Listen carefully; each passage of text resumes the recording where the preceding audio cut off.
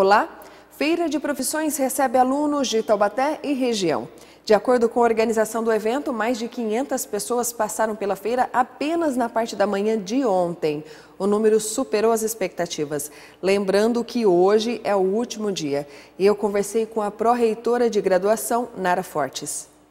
Além dos 35 estandes com os cursos, as profissões, os professores auxiliando, os alunos tirando dúvida, ele vai encontrar também as oficinas, onde ele vai aprender e vai conhecer na prática o que ele vai aprender no curso. Então isso é muito importante, vivenciar a profissão, o curso antes da escolha. É um momento muito difícil de escolher. Então é importante quanto maior, quanto mais e maior a informação, a escolha é, se torna muito mais fácil. Como o evento colabora para ajudar os estudantes a definir seu futuro profissional? além da, da, de todos essas, eh, esse contato com os profissionais da área, nós temos a orientação profissional. Isso é muito importante, que é um bate-papo, é uma orientação, uma palestra com profissionais da área para que eles possam uh, tirar as suas dúvidas e ter um direcionamento da sua carreira. E a escolha correta na profissão a seguir é muito importante, não?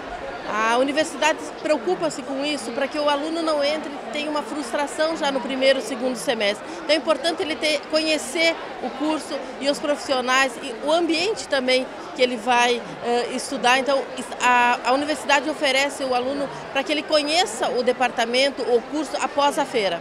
Quais são as dúvidas mais frequentes dos estudantes? Realmente é a, é a carreira, mercado, quais são as disciplinas, né? Porque todos sabem que nos primeiros semestres, né, no início do curso, tem toda aquela preparação básica, que são disciplinas básicas. E a ansiedade, muitas vezes, do aluno fica, mas quando que eu vou ficar, estar em contato direto com, a informação, com as disciplinas do meu curso? Mas para ter as disciplinas profissionalizantes, é, ele precisa conhecer a base.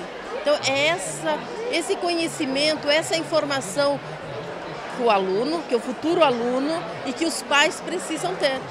Né, para que o aluno tenha esse conhecimento e não fique com aquela ansiedade já no início do curso.